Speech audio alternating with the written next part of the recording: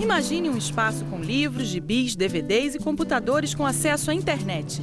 Imagine este espaço sendo usado livremente por moradores de uma comunidade. Bom, eu venho aqui para usar a internet, é, como eu trabalho com turismo, fazer também pesquisas e às vezes venho também ver livros que temos, né, temos aqui uma biblioteca com vários livros. Eu venho aqui três, meses, três vezes por semana. Eu gosto de ler e mexer no computador. Eu vim aprender mais coisas, estudar um pouco com todos os meus colegas daqui.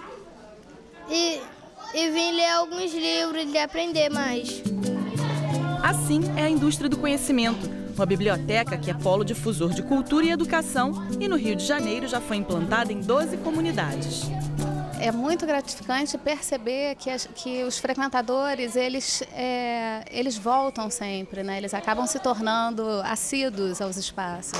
Então a gente acredita que é porque o programa é um programa que agrada, elas são do agrado da, das pessoas que frequentam.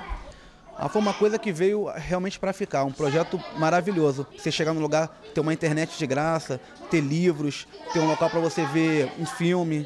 Então as crianças é, é, se identificaram com a indústria do conhecimento. Aqui elas têm uma extensão da casa deles.